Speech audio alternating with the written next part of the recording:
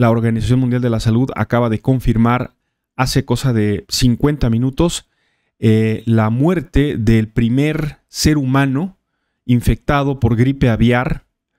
H5A, H5N2 es la identificación del virus eh, de gripe aviar que ha sido, que saltó ya de un ave infectada a un ser humano. Recordemos que desde el año pasado México está enfrentando un, eh, con otros países, no solamente México, pero México no, no estuvo ah, ausente de este problema del contagio de aves con este virus, con el AH5N2.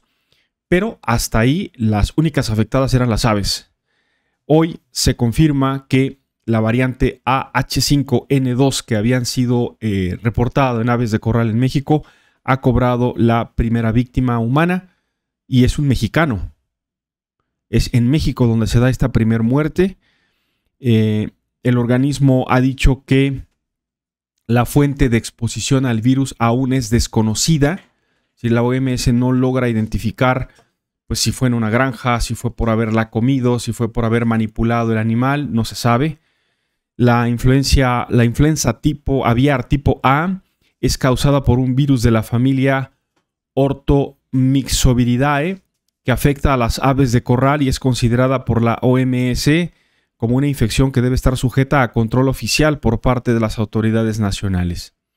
La OMS ha informado que la persona que ha muerto tiene, tenía 59 años, murió el pasado 24 de abril, hasta apenas se ha tenido el dato, o sea, no es que ayer o antier, no, murió el 24 de abril pasado, luego de presentar sintomatología de fiebre, dificultad respiratoria, diarrea, náuseas y malestar general.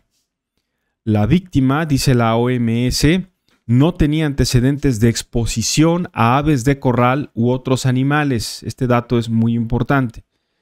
La persona que falleció, de la cual evidentemente no se ha revelado hasta el momento su identidad, tenía múltiples afecciones médicas previas y había estado postrada en cama durante tres semanas por otras razones antes de la aparición de los síntomas agudos provocado por el virus de influenza aviar.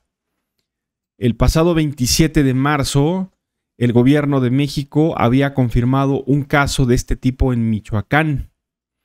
El Servicio Nacional de Sanidad, Inocuidad y Calidad Agroalimentaria confirmó la presencia de la influenza aviar de alta patogenicidad AH5N2 en una unidad de producción familiar de libre pastoreo en Huetamo, Michoacán pero hasta ahí pasó porque hubo, eh, la zona se declaró en cuarentena, se aplicaron medidas contraepidémicas para desactivar el brote.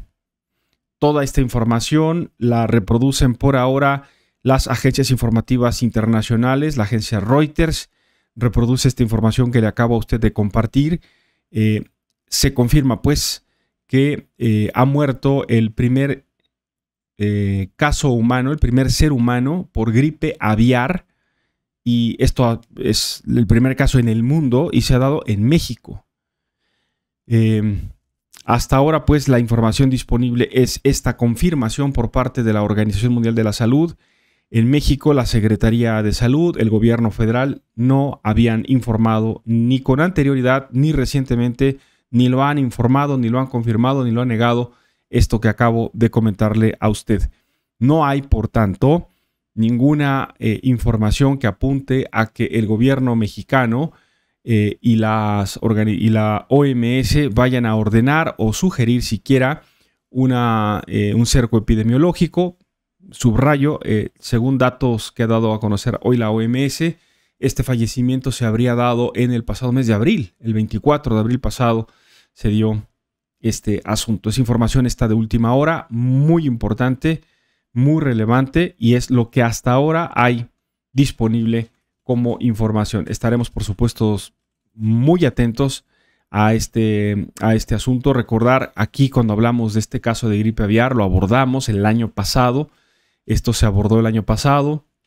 Eh, la información que había por parte de la OMS es que no había ningún antecedente científico ni médico de que el virus de una, de una ave afectada por este virus del AH5N2 hubiera pasado, hubiera brincado a un ser humano, ya sea incluso porque hubiera tenido contacto el ser humano con esta ave, porque lo hubiera consumido, porque lo hubiera manipulado algún trabajador de alguna granja, etcétera, no había hasta ahora, que ya lo hay, un antecedente de que un ser humano sí se puede contagiar de ese virus que afecta principalmente a las aves de corral y que eh, le ha costado la vida a una persona que ciertamente, dice la OMS, subraya, tenía otras enfermedades, estaba en cama, etcétera, pero pues se confirma que em, la presencia del virus estaba ahí y eh, los síntomas también que le habían llevado a perder la vida.